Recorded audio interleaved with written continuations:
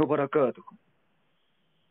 السلام ورحمة الله وبركاته. شيخ عبد الرحمن البراق. نعم. كيف حالكم يا شيخ؟ تمام الحمد لله. عندي سؤال يا شيخ هل ممكن؟ آه. نعم. عندنا شاب صغير في روسيا يا شيخ اسمه الشاه من دوشنبي يقول أن من بدل عندكم إيش؟ اسمه شاه اسمه؟ اسمه شاه شاه يا شيخ. يقول من بدل الشريعة بدل الشريعة وهو ليس بكافر بل هو مسلم. نحن نقول له كلام الشيخ محمد بن إبراهيم والشيخ صالح فوزان أن هذا كافر. يقول لنا ليس عليه بدليل وإن دليل في كلام ابن عباس كفر دون كفر. السؤال هل كلام هذا ضلال يا شيخ؟ وهل يجب التحذير منه؟ نعم. ولا من بدل الشريعة فهو كافر. بارك الله فيكم يا شيخ. جزاكم الله خيرا.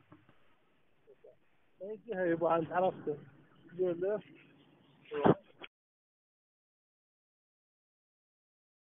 عندنا يا شيخ عندنا الشاب يا شيخ صغير في روسيا اسمه شاه من دوشنبي يقول أن من بدل الشريعة وهو ليس كافر بل هو مسلم.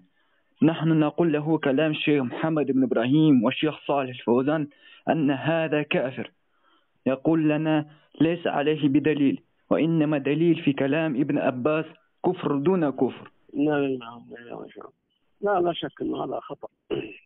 كيف يبدل الشريعة ويبقى مسلما؟ يبدل شريعة الله بالقوانين الوضعية ويبقى مؤمنا. هذا لا يفعله مؤمن ولا يفعله مسلم. نسأل الله العافية. هؤلاء كفر. هؤلاء كفر الذين يذهبون هذا المذهب الإرجائي مع الأسف.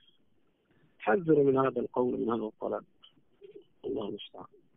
بارك الله فيكم يا شيخ. جزاكم الله خيرا شيخ عبد الحميد.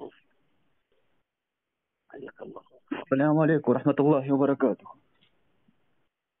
وعليكم السلام ورحمة الله وبركاته.